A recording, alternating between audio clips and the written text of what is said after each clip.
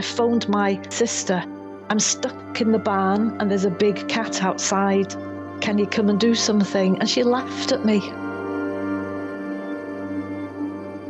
I just froze.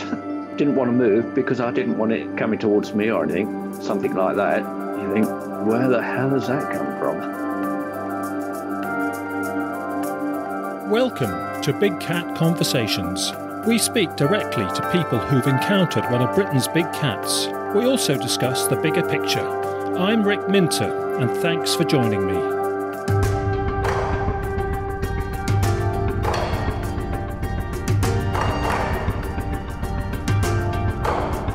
Welcome to episode 81 of Big Cat Conversations. We are recording this one in mid August, and that's because we are based at a Big Cat stand at the Denbigh and Flint Show in North East Wales.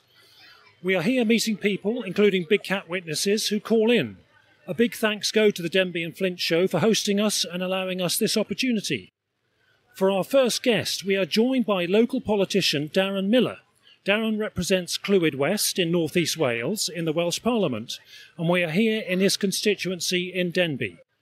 Darren is a long serving Conservative politician with many responsibilities and many different interests, and amongst those interests are big cats. Darren takes the subject very seriously. He knows of ongoing credible reports in the region, and he has encouraged some of his colleagues in both the Conservative and Labour Party to take an interest in the subject. It's a pleasure to be with Darren for part of the day and see him discussing the subject with visitors to the show. So, Darren, thanks for coming on the podcast and welcome. It's a pleasure, an absolute pleasure, Rick. And uh, I'm just delighted that there's been such significant interest.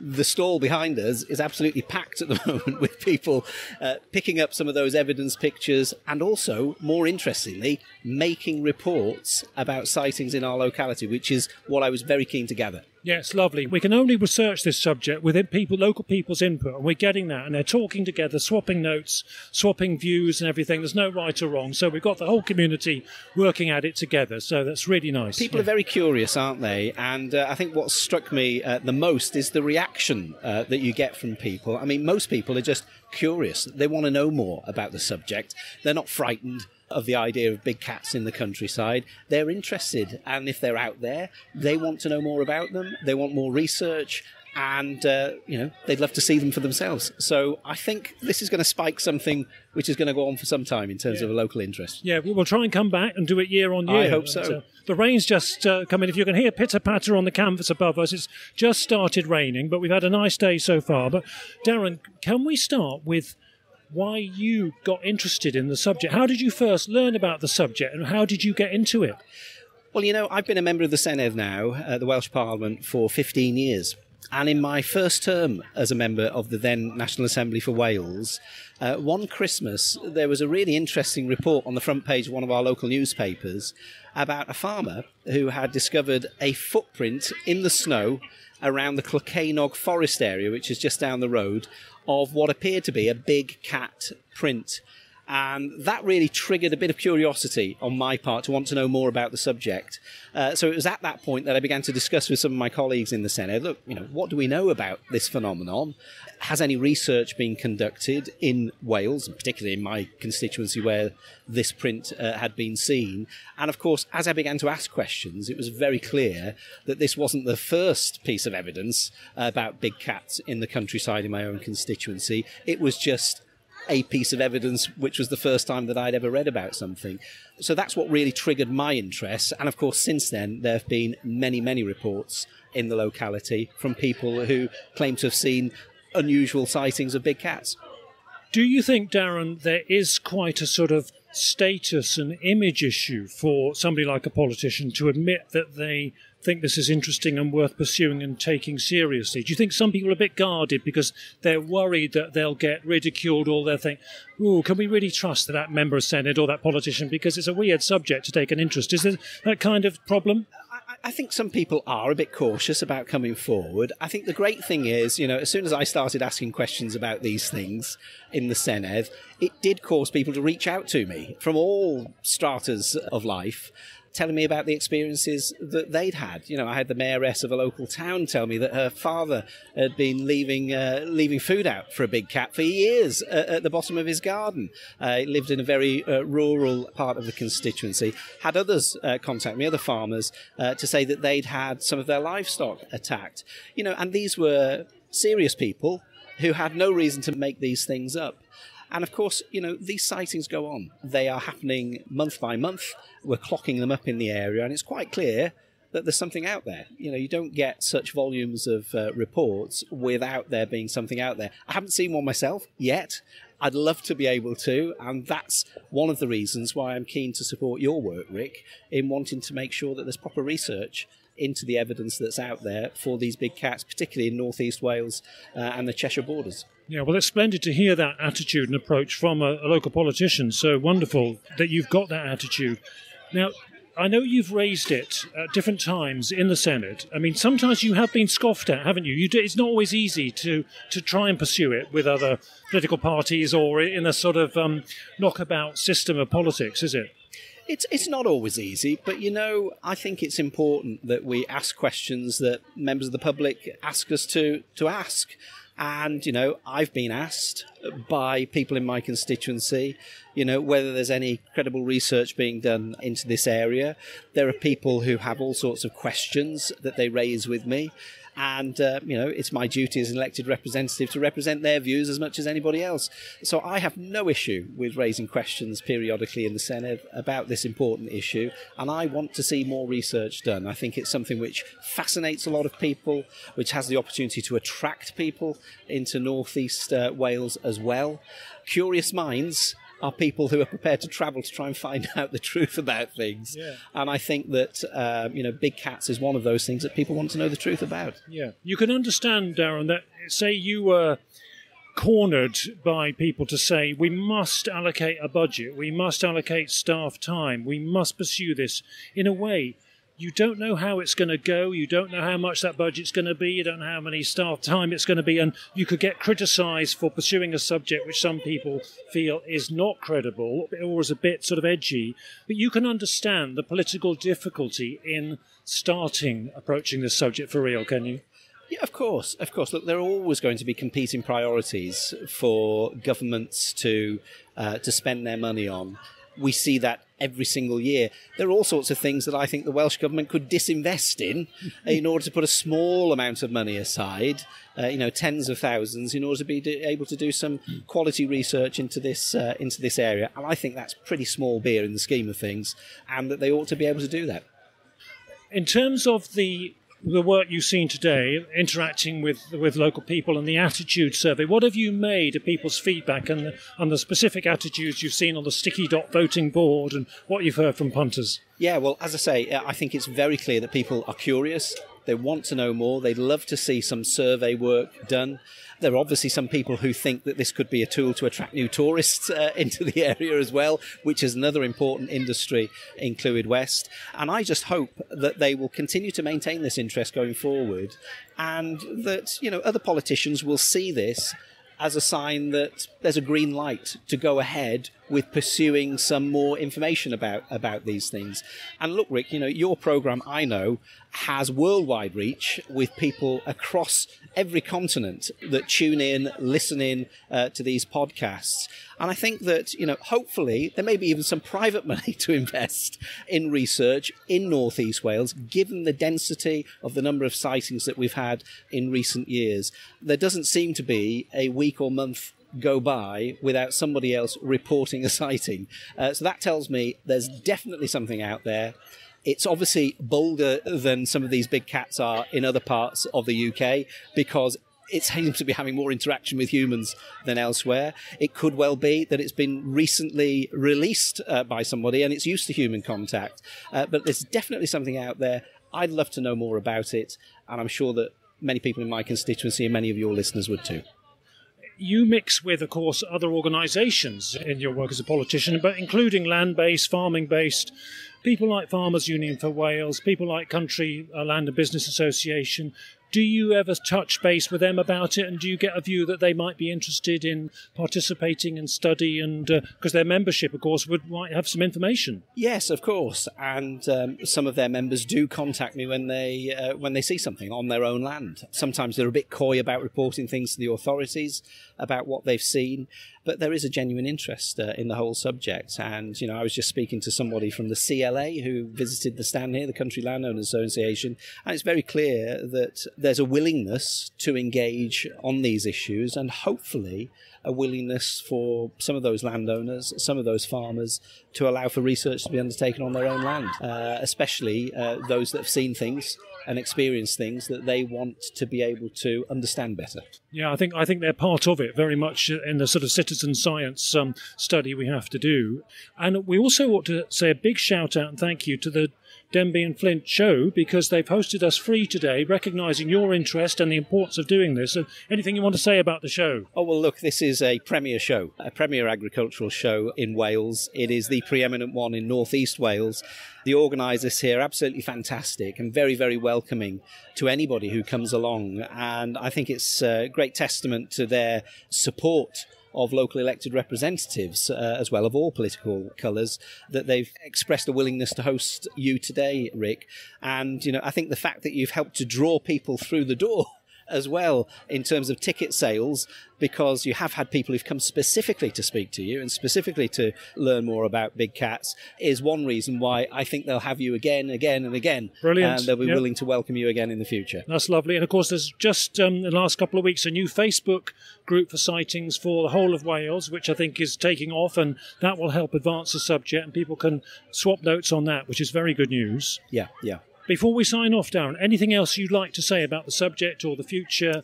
I just think, you know, my message to uh, any members of the general public who are listening into this particular podcast would be, you know, come forward, speak about your experiences, speak about the sightings, report them. If you've got evidence, bring it forward, share it with the Facebook group, send it into Big Cat Conversations, because that will help then to give more strength to our elbow about getting some proper research into this whole area, properly funded research, scientific research. And if we can do that, then we'll be able to understand these beautiful creatures which appear to be living amongst us. Darren, I want to thank you as a you know a senior politician and an experienced politician for taking a serious interest in the subject. I think a lot of people give you a lot of support for that, and um, long may it continue. Let's hope we can collaborate into the future. And thank you ever so much for coming on the podcast. It's my pleasure, Rick, and I hope to be a guest of yours in the future. Take care.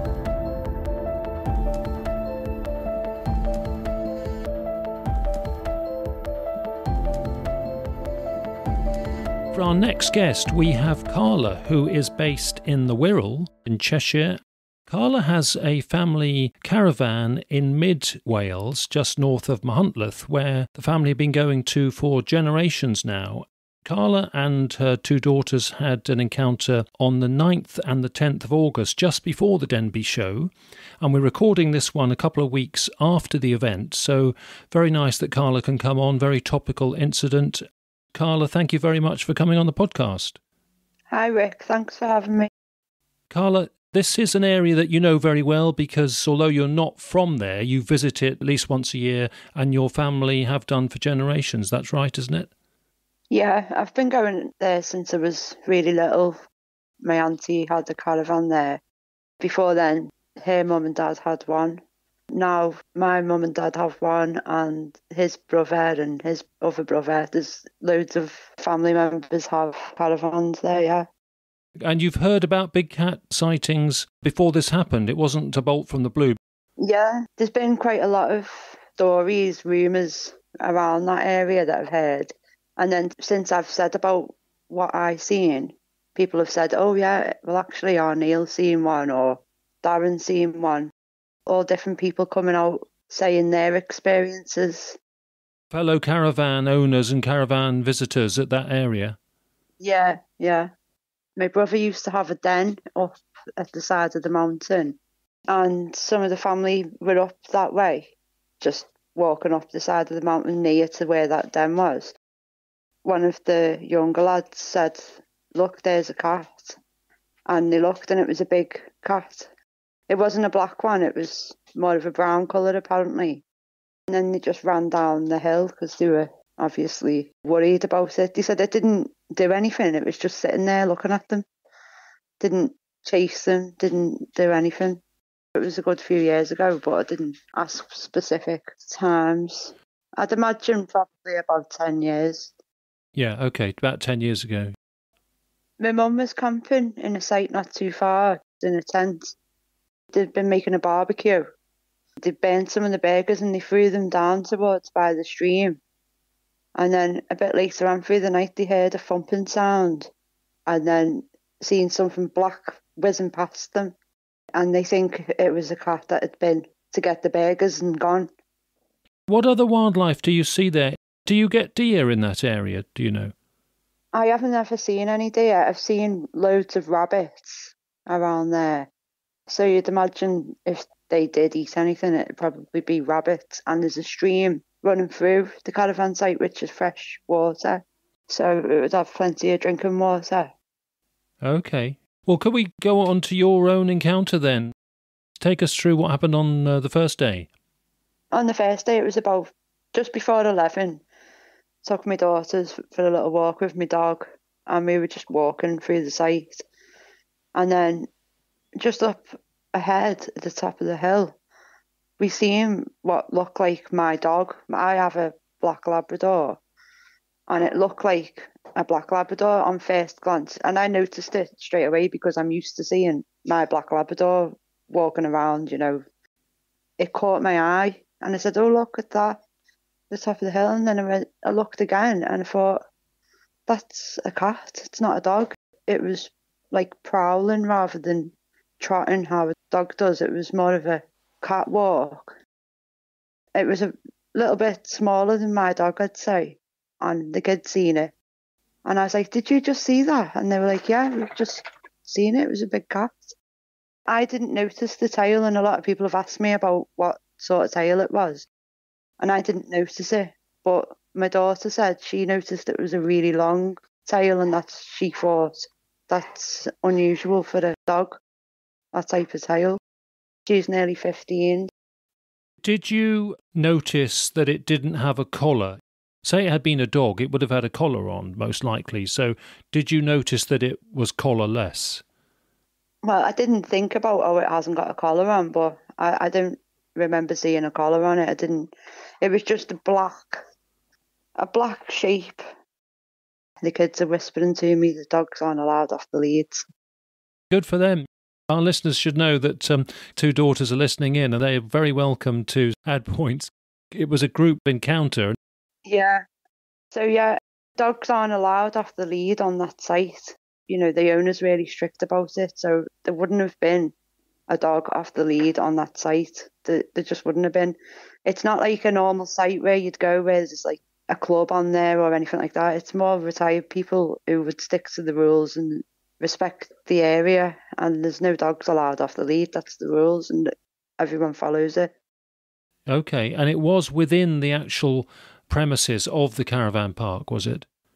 Yeah, yeah. It was on the premises, yeah. What did you guys think it was doing? It was zigzagging across the path. It was going from one side to the other and then back to the other, and then it went to the right of us and went in the bush. Even that's unusual because on that side, the right side, is the fence for the caravan park. So there would have been no one there. It's just a bush. It would have went the other way if it was with someone. We would have seen it come out. And the colour, can you describe the colour? Jet black. Same colour as my black Labrador. No markings, no texture that you could see?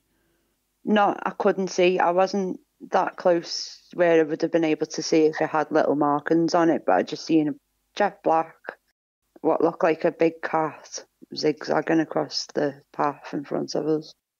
Yeah, it was still close enough, but you wouldn't have seen the markings. Was it aware of you? Was it taking uh, any action because you were coming along, or do you not know? I don't think it seen us at first. It was just zigzagging, and then I think it did and went into the bush. And I, I got the feeling it was more scared of us. What would you say the most sort of distinct feature of it was that you noticed about you know movement or shape or shoulder blades or thickness of legs, anything like that? Yeah, for me it was it was the colour of it, it was black and it was moving like our cat does. You know, rather than a when when a dog walks they sort of trot, don't they? But with the cat it was more like a prowl, sort of prowling around. I know you say that you don't think there are deer in that area, but say it had to predate deer, which most of them do if there are deer around. It was big enough to take down an adult deer, was it? Oh yeah, yeah. It was the same size as very similar size to my adult black Labrador. It was a working gun dog, you know, a sportive one. I've got the same myself. They're a good yardstick, aren't they? I don't want to put words in your mouth, but do you think it was a bit longer in the body than a lab, perhaps? Yeah, probably, yeah. It was probably a little longer and maybe a little bit chunkier. How did you all feel? Did you speak to each other about it? You know, what, what happened next? I just said to them, oh, I wish I had my camera out because about two minutes before I had it out taking a picture of stuff around the site and then I just put it away and I was like, oh, why didn't I have my camera out then? And then I went to walk up and I thought, oh no, I've got the dog. I'm going to go back. It's not safe for Alfie. So I thought I would just go back down. And I didn't even think, oh, might attack me and the kids. I was just thinking, it's going to, you know, maybe go for my dog. Yeah, so you had the dog on the lead with you? On its lead, yeah, because you're not allowed your dog off the lead. did your dog notice the cat? No, I don't think he did. He was just sniffing around. And in terms of your emotions, you know, fear, wonder, amazement, how did you all feel, do you think? I was just made up and went back and told my husband, and he was like, oh, whatever, you know, he didn't really believe me. He said, stop going on about this stupid cat. Because he's not really into that type of thing. So I was phoning everyone saying, I've just seen and then I put it on Facebook. I'm not the type to do that either. So, you know, I don't really put things on Facebook. So I must have been excited about it. Yeah. It then got onto the new Wales Big Cat Facebook group, didn't it? I think Big Cats of Wales is it what it's called. Yeah, someone commented on my post and said there's a, actually a group on this on Facebook, and I thought, oh, okay, I'll share it. Might as well. I see if anyone's interested, and then I've had a lot of interest of it. So yeah, people do believe. How did you find the reaction? Did you find that helpful and positive? All of that reaction from the new Facebook group. Yeah, it was interesting anyway to see other people's encounters as well. It makes it more likely that what I seen was real. So yeah, it was good. What do the girls think of it? They just think they've seen a big cat in the side of a mountain and that's it. They don't really think much more of it. Do they not think it's a bit cool, or are they, worried, or you know, do they think, "Gosh, there's a, a large carnivore"? What do you think of it, girls? People said they've seen it before, so you know, it doesn't seem that rare. They think it doesn't seem that rare. They've heard so much of other people's stories. They're like, "Well, yeah." Okay, it's a bit. So what is it? Yeah. Do they think it's quite a cool thing to have seen though, or, or are they worried? You know, if it could get the dog. They weren't worried about it, but I, me the next day, I thought I'm gonna go back and see if I can get a photograph and uh, take a video of my steps to show, you know, my family who who have caravans there the way to get there. So I was just taking the video, and I thought when I got to the top, I felt a bit eerie. I don't know why. I just had a weird feeling and I turned my camera off and started to walk up the hill to where I'd seen it. And I got a few steps up and I just heard a hissing sound from that bush I was saying where the cat went in. It was in that bush. It went like, you know, like that. it was a bit louder and a bit more aggressive, you know, like that type of sound. And it just froze. And then I turned around really slow took a few steps, and then I legged it down the hill faster than my dog. Well, you had the dog with you? Yeah, I, I took the dog with me. I don't even know why. I just thought I'd take the. I was going on a walk and I thought, yeah, I'll take the dog with me, try and get a fit photo. When I look back, it's very silly of me because could have been attacked, but I just didn't. I never thought it was going to be there, to be honest. Again, I just thought I'm going to go back. So, how did the dog react? Did the dog pick it up and the dog react to the hiss? I don't know. He was definitely sniffing around that bush. I didn't look at the dog because I was in shock. I was that scared, I just froze. And I was just in a weird shock thing and I turned around really slow. And then like that I was scared for my life. I thought it was gonna chase us. I actually thought it's chasing me until I got down to the bottom and I thought I'm, I'm safe now because I was back by where all the caravans were. So I didn't really take much notice of what the dog was thinking about it all. He was just running alongside me. I was probably faster, which is unusual. You're utterly convinced that that was a cat noise and not any other animal, wild animal. No, it was definitely a cat hiss. Yeah, I mean, I've got a cat as well, and he sometimes hisses at the dog. It was like that, but louder. No other noise or movement. Nothing. It was just that noise. It must have. What I think is, I've been woken up and it's seeing me and been protecting its territory. You know, like a territorial thing. You're disturbing it from its rest and it wants you to beat it. Yeah. Has that warning and that noise and that fact that you had to beat a hasty retreat, has that made you a bit more wary and scared for the future? Or do you just feel that was just unlucky, you shouldn't get too close and unlikely to happen again? I was at that place for a bit longer for the rest of the week and I didn't go back up there. so I was like, no, I'm not going back up there, no way. and how will these incidents influence you in the future, do you think, in that area or anywhere else? Will you have big cats on your mind now, or can you just put it in perspective? What the weird thing is about it is when I was younger, I used to build dens in the area, in that exact same area, and I was saying to my two girls as we were walking up there, that's where I used to build my dens, and I could have let them the next day or later on that day if we didn't see it. Could have let them go up there and build a den. You know, they could have been up there which is quite scary. I think about that and think, God, it's lucky we did see it because it could have been different. Yeah, yeah. Although, again, it might have given you a warning before you got too close. Yeah, but you don't know if they were just. I just thought if, maybe if they were building a den there and then it was hungry or something, it could have attacked them. You don't know, do you? How do you feel about the animals? Say the police or some authority got to know about this and said, we can't have one, a wild panther like that, around a caravan site where there are people and children playing, we will have to take it out somehow. We'll have to trap it and take it away, or we'll oh, have oh, no. to dispatch it. What would you feel about that? And how, what would the girls feel about it? Well, to be honest with you, it's not really a child friendly site. It's not like a site where you'd have children. It's more of a retirement type of place. And it is in a middle, you know, it's in a valley and it's. It's wild and remote. Yeah, it's not like it, it is their territory. The caravan site is there, but it's not, you know, it's not like a built up place. It's the caravans are there because it's that beautiful and close to nature, you know. We're disturbing them, not the other way round.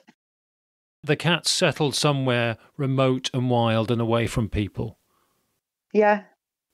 So you think it would be unfair to take it out? Oh yeah, hundred percent. I don't think they should do that. No, definitely not. How do the girls think about that? Do they agree with you or any other views?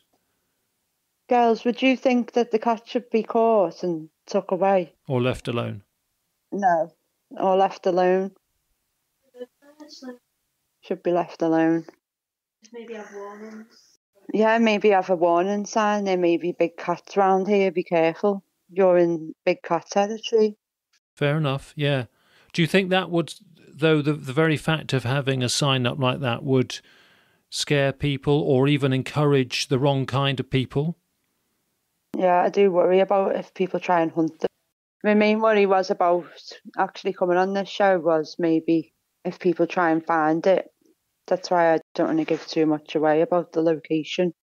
That's common with most of our podcasts, actually, especially if they're recent. Once they get many, many years on, it's less of an issue. In fact, um, at the at the Denbigh show, we had a sort of a board where people put sticky dots on their view. We had a list of types of things you might want to do if we knew there were big cats around. One of the options was leave them alone, and that was by far the most popular vote. That we had scores of people putting their sticky dots on the statement that they Yeah. agreed with most, and leave them alone was the the most common one. In fact, another one was put up information signs, and that got quite a few as well. Yeah, it's it's tricky though, isn't it? Information signs because it's a bit of a culture shock to have that. Yeah, So, Carla, it was very interesting that um, Jonathan, who's been on a podcast recently, offered to follow up and check the area because I think he's got a base in North Wales, so he travels up that way sometimes. So I know that he made a journey just a few days before we recorded this, and he did a little email note to you, and you forwarded it to me. He very kindly offered to look around, and he did so. And it may be because it's just very dry, the landscape at the moment, or certainly was at that time in the in the drought conditions. And he didn't find any signs and didn't find any scat like droppings or whatever. So he wasn't able to verify it with any trace evidence, as it were.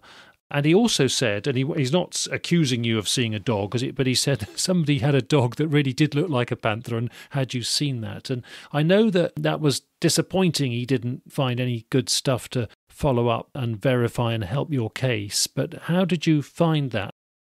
I was really excited for him to go, and I was thinking, oh, what's he going to find? And I was looking forward to hearing what he'd seen because I was like 100% sure he was going to find something. I thought, you know, he's got to. When he come back with that, I felt a bit like deflated and felt a bit silly. But I've thought about it since then and the stuff he's come back with, which I'm really glad he went and he's doing a good job. The things that he said is he's seen someone with a dog that looked like uh, A bit like a Black Panther. a bit like it, yeah. And it was walking a bit like a cat, which I haven't seen that dog on the site myself. And I'm not saying he didn't see the dog, and he's not saying I didn't see a cat. But um, I'm just thinking the way it wasn't on a lead, the thing that I seen. And when he seen that dog that was on a lead, and I wish I would have known when he was speaking to her, because then he could have said, do you ever let it off its lead? Because I know she wouldn't have. It won't have been the same. It wouldn't. It wasn't a dog. What I seen, it was definitely a cat.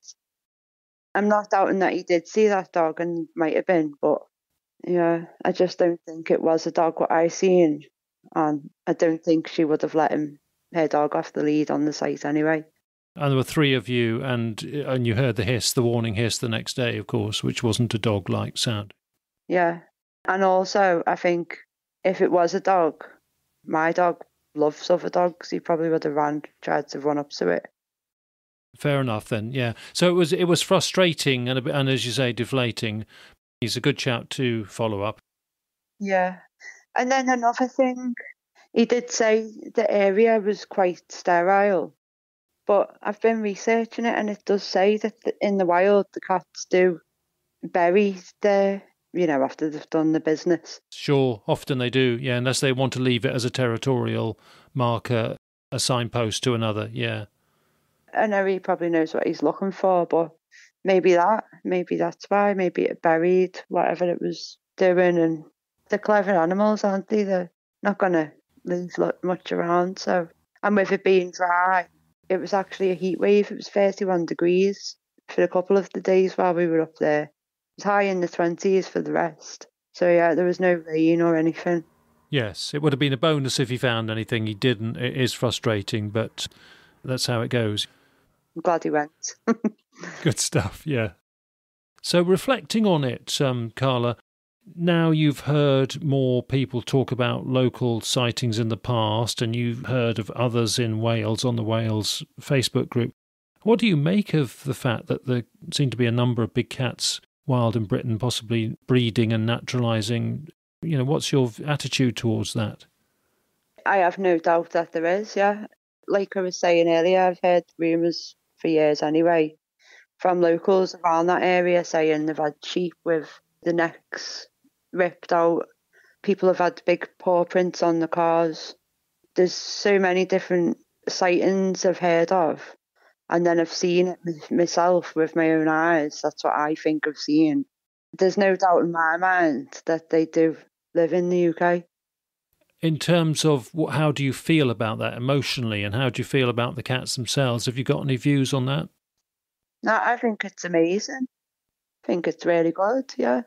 It's good, isn't it? It's nice to know that there is big cats around.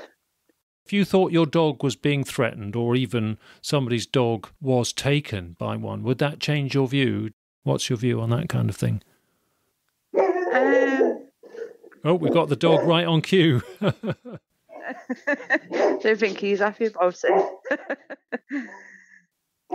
I don't think it would be a problem. I think they're probably only going to attack if you're in their space.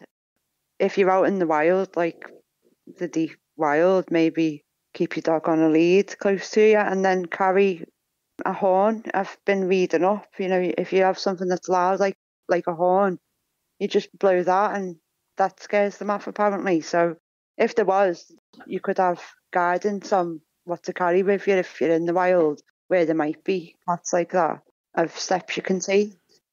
so you're positive about it. Do you think the girl, your girls, feel the same? Do you think? Yeah, they're positive about it. Yeah, we, we don't feel threatened in any way by what we're seeing. Or obviously, when we went back and I heard the hiss, I was scared at the time. But it just shows you that it did actually give a warning. It didn't just attack. So just don't go. and- You know, if that does happen, you just go away. Don't pick a fight with it. Yeah. Same with with anything, really, isn't it? Do you think it will affect how you view the outdoors and how alert you are for sort of looking at nature in the future? Yeah. I used to walk around that mountain quite a lot when I was a child. I don't think I'll be letting my kids walk around there on their own. I used to do that like every time we went, every day. We'd just walk around it, me and my brother, when we were about, you know, 12. Just go for a walk around the mountain.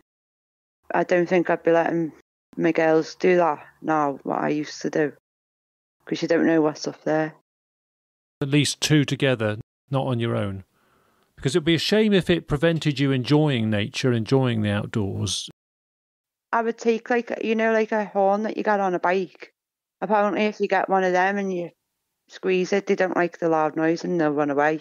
Apparently, so I don't know. I w- I don't think I'd be scared because I think it would be more likely scared of us, unless you're like you know trying to go up to it.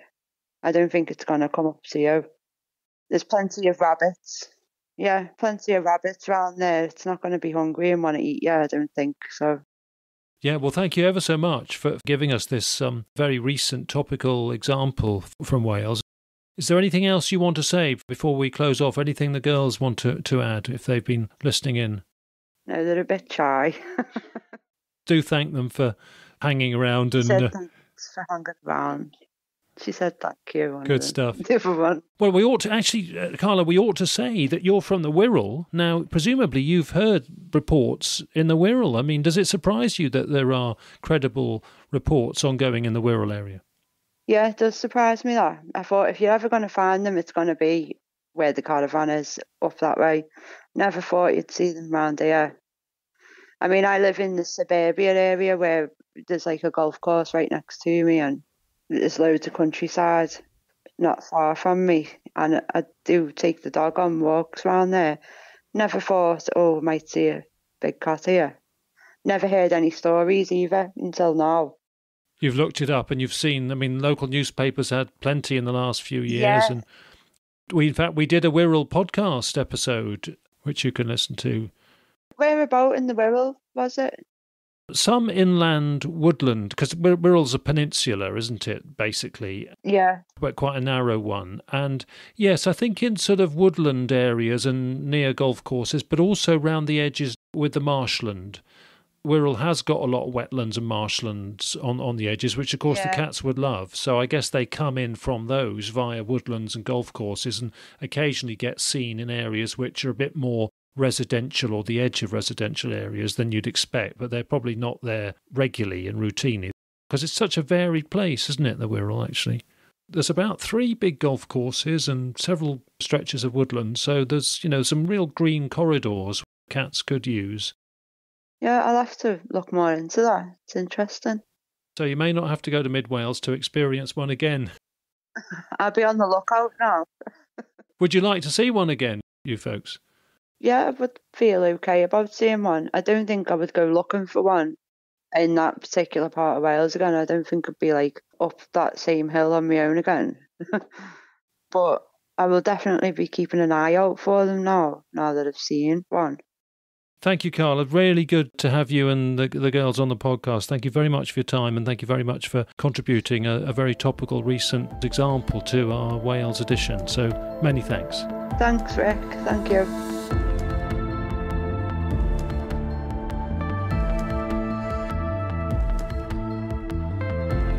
With our next guest, Michelle is based near Carmarthen in mid southwest Wales, and she's going to brief us on an encounter she had back in the summer of 2007. So, Michelle, thanks for coming on the show. You're welcome. Yeah, I've always been fascinated by big cat sightings. Thanks, Michelle. Good to have you with us. And that was going to be my first point to quickly check with you. Before the incident, did you have a take on big cat sightings? Were you aware of them and what did you think of them? I, I was aware, I, I must admit, a good 20 odd years earlier, possibly 30 odd years earlier, I'd had a bit of an experience not in Wales, in Cornwall. I was driving my parents back. I'd just learnt to drive. We were driving from Cornwall back up to the Midlands, going through Launceston, I think it was. It was early morning, and there was this big black creature just lying in the road. It wasn't a cow. It was it was too small for a cow, and it certainly wasn't a dog because it was too. It wasn't a dog. I could tell it wasn't a dog. I was quite scared. It was early morning, so I, I just drove round it. I didn't stop to think, oh, I'll have a look what it is.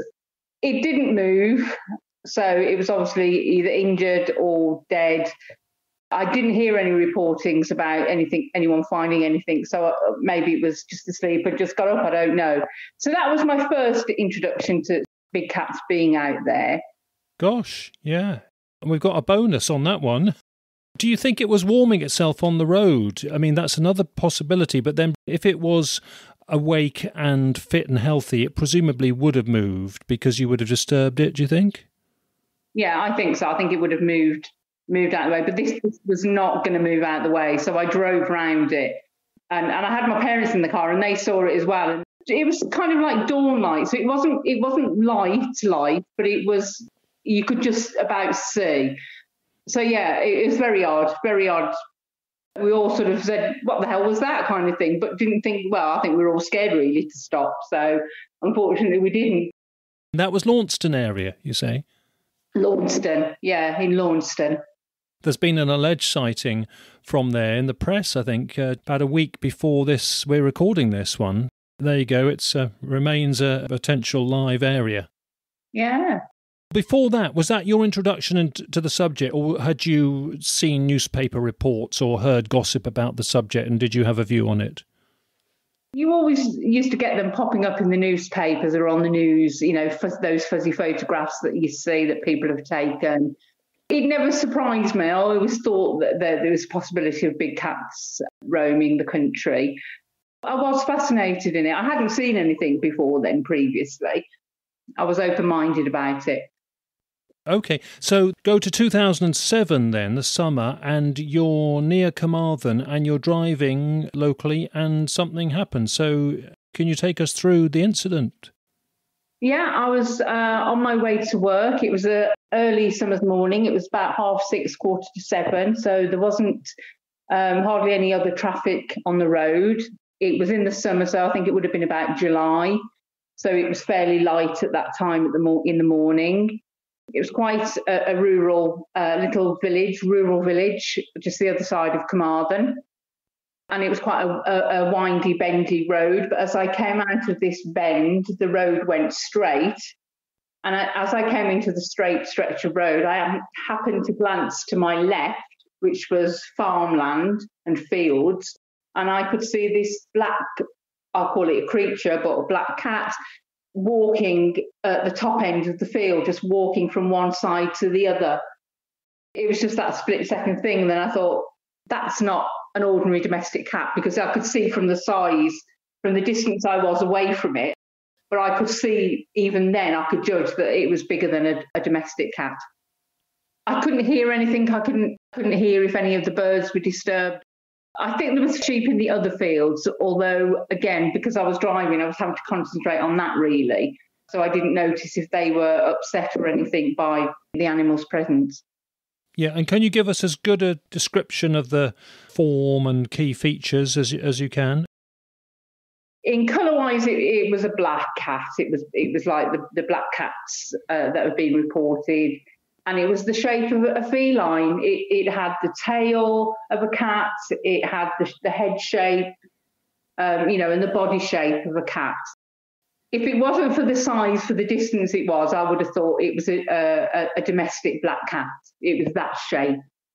Was the grass um, a reasonable height? Because it, a, a, domestic cat wouldn't have appeared beyond the uh, sort of high grass or medium length grass, presumably, unless it was cut or being grazed. It hadn't been cut short. It, it was just it wasn't a field that was used for growing veg or anything in it. So the grass was, you know, at a I'd say sort of knee high height really. But I could see this this cat walking in it. Is there anything about the tail at uh, that distance that you could work out, like its length and thickness? It looked quite a thick tail, and it was the general the, the shape of you know of it coming from the bottom and going down and then coming round again in like a little curl, if you, if you know what I mean. Just it wasn't bushy at the end or anything. It was fairly smooth in shape. Anything about the movement? What kind of locomotion did it have? It was just walking quite slowly, to be honest. It didn't seem concerned or worried, or it, it wasn't stalking. It, it just seemed to be just walking from one end of the field to the other in just a general slow kind of walk. It was quite graceful in its walk. And, and again, I think that made me think that's a big cat, the way it was walking. Compared to a Labrador dog, how would you compare the scale and the length and, of this animal? Probably a little bit longer than Labrador and a little bit taller than, than your average Labrador. And I know you get Labradors in all shapes and sizes. It was it was a more um, sleeker animal than a Labrador or a dog would have been you know, I could tell by the shape it was quite a sleek animal. And would you have assumed that it was properly wild? Did it seem properly wild, fit, and healthy? Think so. It, it, it certainly, from its its walking, I couldn't sort of tell it, it. It certainly wasn't limping or anything, or it, you know, it wasn't slow in walking. It was just a nice, you know, like you'd watch your domestic cat walk across the lawn. It was just that kind of a one going from this side of the field to the other you know, it, there was nothing um, that, that I could sort of pick out that it was ill or, you know, underfed or anything like that. It didn't look like that from where I was. And although it was an open field that he was walking from, the area is surrounded by woodlands. Would you have had time, if you'd thought about it, would you have had time to get your phone out and take a photo if you had a mobile phone with a camera at the time, or was it simply too far away, or was the driving conditions not um, suitable for that? Yeah, possibly the driving. Um, I mean, I could. Uh, there wasn't really anywhere to pull over. I mean, it was it was quiet. There wasn't a lot of traffic on the road, so I could have stopped, but it wouldn't have been in an ideal place. It was coming up to a junction. If I'd have gone left at the junction, I possibly could have gained another way of seeing the cat because it was in the field on there on the left of it. But yeah, certainly if I'd, have had a, a phone and I'd have stopped quickly, I could have I could have taken a quick a quick snap and say it wasn't in any rush walking across the fields at all. Do you think it would have been, though, a blob in the distance? Do you think you would have got much of the uh, of the form to show people? And, and if you'd have zoomed in, it would have pixelated. Would it have been one of those kinds of photos? 2006, obviously, phone technologies and cameras have moved on since then. But certainly then, it wouldn't have been much of a much of a shot. No, which was a shame. So, what did you do afterwards? And did you tell people and did you learn of anything else in that area that you'd heard about, or did you keep it to yourself because you felt you might be ridiculed, or how did you react? Yeah, I don't think I told people straight away. I don't think I got to work and said, I've just seen a black cat. I think I, I certainly told my husband when I got home and said, I've seen a black cat and discussed it with family members and things. They didn't dismiss it, but I don't think they took too much, you know, they didn't read too much into it. But yeah, I don't, I don't think I sort of went to work and said, oh, I've just seen a black cat. But there have been, in, in certainly in that area, uh, I found out since, and in areas not far from there, there have been over the years other sightings of black cats on farms and uh, in surrounding areas. When you say black cats, you mean panther size, you know, black leopard size? Sorry, black cats, yeah. Yeah, yeah. Incidentally, did you go back and try and look up what you might have seen? Did you try and check the species and check classification of it, or did you just think that's a black panther, uh, most likely because of the scale? I did look at photos. I did put in black cat, and obviously it brought up quite a few things. And panther, black panther is is one of the things, and that's certainly what I thought it looked like to me was was the black panther type cat. So, other reports you've heard can you remember any of them in detail? This is a bit further out from Carmarthen, but it was in one of the communities I used to work in regularly. So it's probably in the last five years. There were certainly sightings of a cat of some kind in um, an elderly lady's back garden that was seen not, not only by her, but by someone else. Sort of lots of farmland and fields around it, but it, but there are houses as well. So she probably would have had a small garden, and it was in her back garden, I think, that it, that it was seen. And I think that's seen by a couple of people in her garden, but I think someone else in the same area saw it as well at a different time. And I think it did get into the press that it was seen in the garden um, by this lady. I don't know if she'd let a dog out or a cat out, and it was in the back garden. There's reports in, in other small villages in and around Carmarthen of animal carcasses being found on farms, sheep carcasses, and, and it's the way that they've been eaten that's sort of rang alarm bells. There's reports of footprints being found, cat foot, uh, paw prints that are too large for a domestic cat again, that have been found in farmland. So, yeah, so quite a few reports in this area of West Wales. Yeah, and what do you make of that? And what do you think other local people make of these reports? Do you think it's just an ongoing thing? It, it never gets too problematic. They seem to be behaving themselves. Is there any kind of trend you pick up in attitudes or awareness in, amongst uh, people? I think the farmers get concerned. Obviously, you know, if they start losing vast amounts of, of livestock, and as you say, if it gets reported in, in, in the local press, then people don't like to talk about it because, like you said earlier, they don't want people rushing to that area to overtake it, kind of thing. When you read the, the reports of the local area of people who've seen things or found things, they do take it seriously. They think there are big cats out there and they do take that seriously as an issue. How do you personally feel about it? Have you got a view? One of our previous guests for this South Wales quota of reports said she found it exciting more than anything. She's a farmer's daughter, I, I, might add. There can be different, you know, takes on it. I would like to see one. I would like to see one up close. It would be terrifying. I wouldn't know what my reaction would be. I agree in, some respects. It, it would be exciting to see one. Yeah, and there have been reports, haven't there? People just coming across one. So, you know, it could happen. And has it influenced you? I mean, when you drive or when you walk in the countryside, do you think, well, you know, there are big cats around and I'm hoping to see one? Or does it make you have some kind of heightened alertness? Does it make you more observant? It does if I've heard of reports in those areas around that time. It's not in my mind all the time that I might come across one. And I walk regularly, I walk my dogs in fields regularly. So it's not an active thought that, oh my God, you know, I could meet a big cat here. But if there's been a report in the local area of someone sighted one or whatever, then yeah, I, I would be heightened to that. I did have another experience. yeah. In Carmarthen, or the other side of Carmarthen, in another village, and I didn't actually see anything, but there had been, I, I, I, wasn't aware of this, but there had been a sighting of a big cat in this area in, in the recent weeks. And we'd taken our young children at the time and two of our dogs, and we've taken them into some woods that you can actually walk dogs in. And we were walking in this really sort of bramble covered enclosed bit of the wood.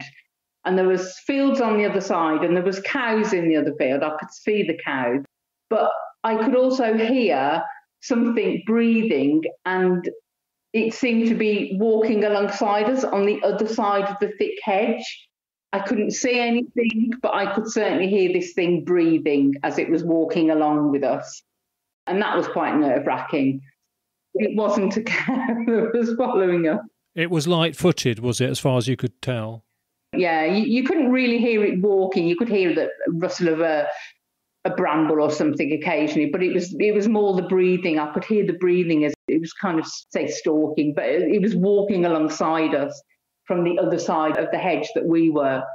And you couldn't see through the hedge, it was quite thick, so you, you wouldn't have got a view of what was on the other side. It was paralleling you, really. Yeah. Did it affect the dogs? They were walking ahead. My husband and my young son had got the dogs. So it was me and my daughter who were walking behind, and they didn't hear anything at the front. So it seemed to be walking alongside me and my daughter. We we hadn't got the dogs with us. And as I say, it was only after that event that I then found again in a local news report that there'd been a sighting in that area, you know, a few weeks previously. So that was quite, you know, scary. Of course, you never know. That's the frustrating thing, isn't it? But of course, you know, it's not the behaviour of a deer, it's not the behaviour or a horse, and another dog wouldn't have been that stealthy, I presume. It was just odd. I, I knew it wasn't a cow. Like you say, it didn't have a heavy tread or anything like that, or a horse but I could certainly hear this breath as it was walking alongside us. The final thing on your attitudes say there was some kind of policy, even if it was difficult to implement, and a realization that, yeah, we've got potentially black leopards around Carmarthenshire and the Carmarthen area, and we can't have that. There was a view that it, that they'd have to be eradicated somehow. What would you make of that? What would your view be on that? Leave them be, is my view. Yes, they take the odd sheep and the odd bit of livestock, but they don't cause that many problems. To my mind, just let them exist alongside us. I don't think there's any reports of them attacking humans. And until that point, then I'm quite happy to, to live alongside them. What if one took your dog, or you had one sort of eyeing up your dog and threatening your dog? Would that change your view at all, do you think? A little bit, I think, with my dog. Yeah, it's a tricky one, isn't it?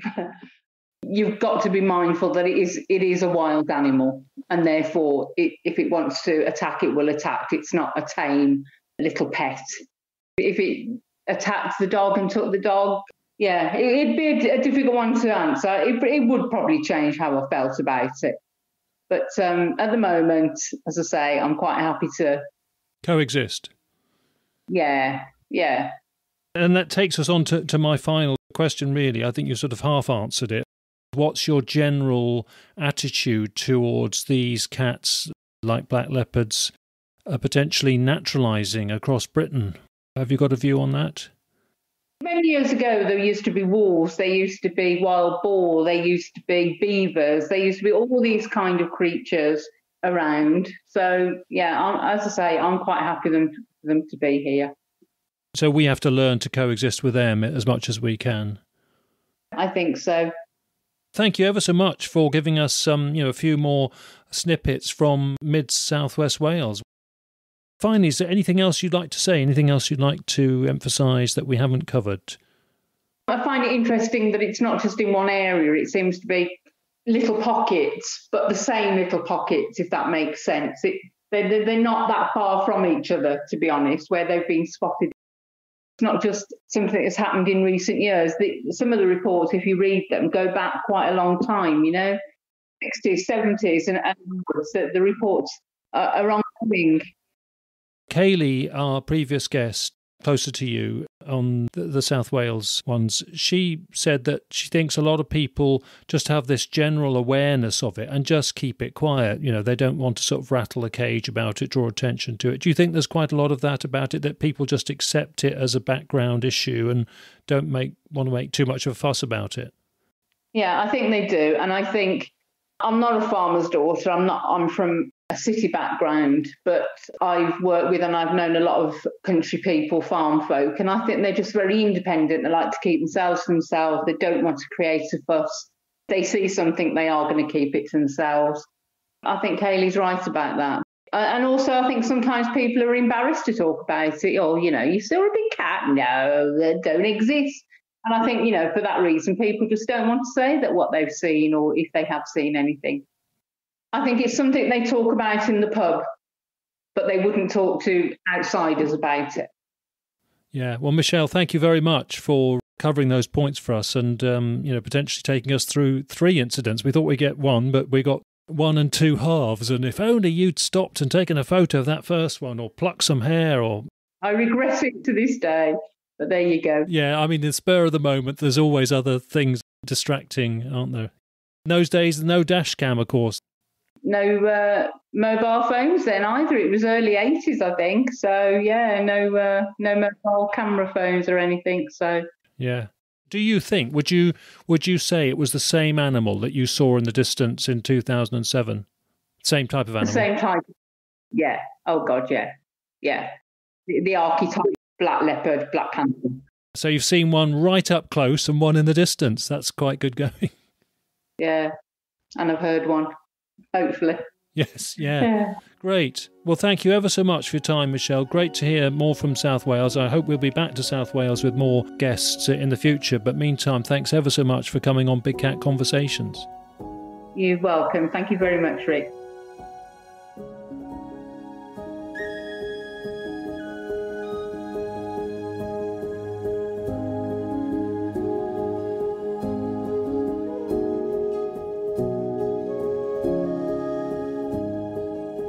Okay, we will be back to Wales within a few episodes, speaking with Mark and with Ewan, who have both recently seen and filmed what seem to be lynx like cats in mid South Wales. Some of you in Big Cat Facebook groups will be aware of their footage and their exploits, so it'd be good to talk through the incidents with them directly and hear about how they are following up those events. We began this episode at the Denbigh Show, and you can see a few photos from that show on the Big Cat Conversations website under episode 81 on the references and links page. And prominent amongst the photos is the final result of the attitude survey on people's views on big cats living here. And you'll see there was an overwhelming vote in favour of leave them alone as a key option to take. It was, of course, great to meet so many interested people at the show and learn some snippets of what's getting reported in North East Wales, and we must say a big thanks to the show for hosting us. One of the standout features of the large cat reports received there from North East and North Wales was the fact that there were no puma descriptions, only blacks and lynx like cats. Now, for our word of the week, we have the Latin term for big cats, which is Magnus cattus and we're grateful to Claire in Scotland for pointing that out and mentioning it. In fact, she's used that term as the title for her entry to our poetry competition, and Claire agreed to me reading out her poem, so here goes with Magnus Cattus.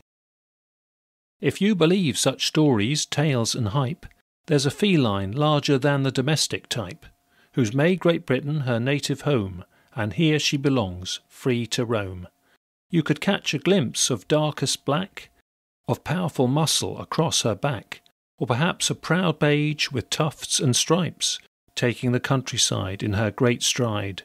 Some have seen grey, orange, and spots. Truth is, our felines not one, but lots. Released or escaped, it matters little to me. It's interesting, yes, but more importantly, these cats have established and earned their place in the UK. I hope she remains elusive, so here she will stay. Wonderful stuff, Claire. So nice to have that one, and thanks to everyone else who's sent poems and limericks so far. Please keep them coming till deadline time, which is mid October. The prizes include Big Cat Conversations t shirts, as well as Dartmoor Beast Gin, Dartmoor Beast Hot Chili Sauce, Stroud Brewery's Big Cat Ale, Exmoor Ales Brewery Exmoor Beast Beer, and Beast of Bodmin Ale from Firebrand Brewery. So thanks so much to those sponsors for joining in and helping us. We'll put photos of their products on our website soon. Coming up on the podcast, we are due a return to Scotland before long, hearing about some recent key reports, and we'll have feedback from some of the recent rural shows there where Paul and David have had big cat stands. But next time we are visiting Derbyshire, hearing about a series of sightings over the summer there. And we've heard about the use of thermal cameras already on the podcast this year, and we return to that theme within the Derbyshire edition. Okay, it's time to close out now, so a big thanks to our guests. Look forward to being back with you soon. Take care and bye for now.